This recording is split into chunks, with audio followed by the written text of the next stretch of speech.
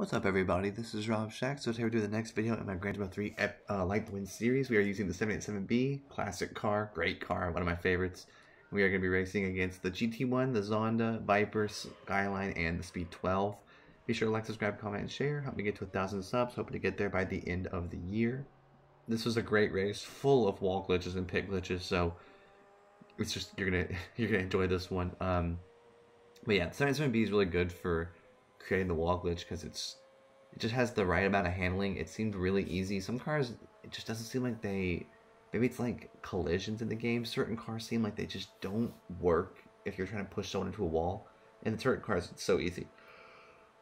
The 77B was very easy. It was so simple to do the wall glitch on people. Just you just push them into a wall right around the corner ending, and then you're good to go. And it's pretty amazing. So yeah, the GT1 Viper and even the skyline I made do it because I was just messing around. Um, but yeah, thank you all so much for watching. These videos are super fun. I really am honored that people have been watching my Gran Turismo 3 videos for all these years. They, they do well. So yeah, I really appreciate y'all. I mean, it's so fun. If y'all have ideas though, let me know. I like to do things. Obviously, wall glitches are super fun. I have no idea which one is going to be the thumbnail, but there's quite a few options in this game, this round. So yeah, we've got the GT1 struggling right now getting really, really sideways.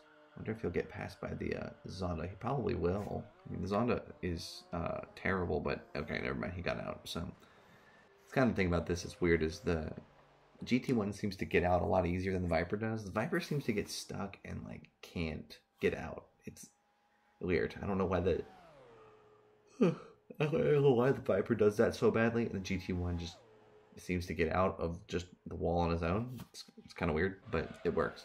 So yeah, uh, Viper also slows down really, really fast compared to the GT1. GT1 seems to kind of sort of hold his speed. I'm not really sure what's up with that, but he does.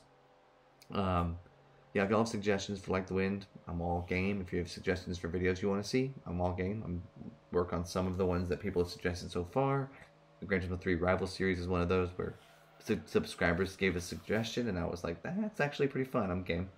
So, yeah, if you have ideas, let me know. I'm all ears. So, thank you all so much for watching, though. I don't think I'll talk too much more in this one because it's just, you know, it's just great.